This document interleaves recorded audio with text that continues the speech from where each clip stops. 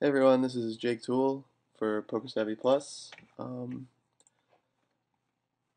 this is my first video for Poker Savvy Plus, and I uh, started a session earlier today. Today's a Wednesday, and am semi deep in a couple tournaments, so I thought it would be a pretty good time for a video. Um, up here in the top left is the Stars 50 rebuy. Um, I have 76k and the blinds just went up to 1503k. There are 22 left, and we're in 14th.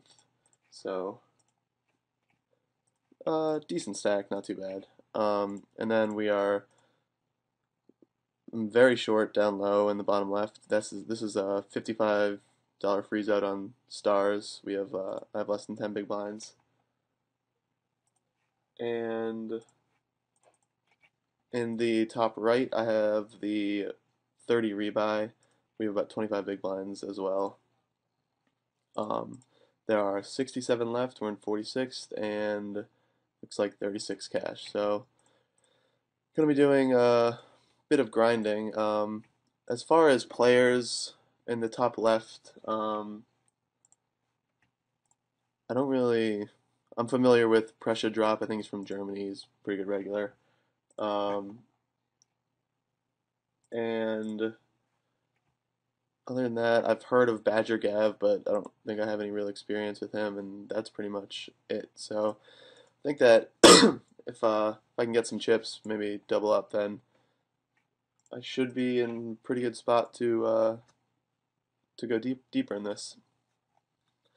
Um, I just got moved um, a few tables ago. I mean, a few minutes ago, so um, not really too familiar with like the dynamics of this table. So I'm going to be playing fairly tight um, and try and pick some good reshove spots. Um, sorry if I'm pausing a little bit. I have some tables up on the right on my monitor too, so might be a little bit delayed. Um,